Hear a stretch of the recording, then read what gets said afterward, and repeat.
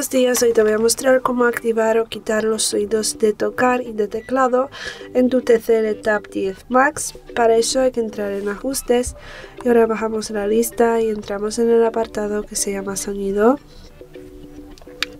Y aquí cuando bajamos podemos ver que tenemos sonido al tocar. Para cuando pulsamos aquí se activan los sonidos. Cuando pulsamos en el mismo botón se desactivan los sonidos.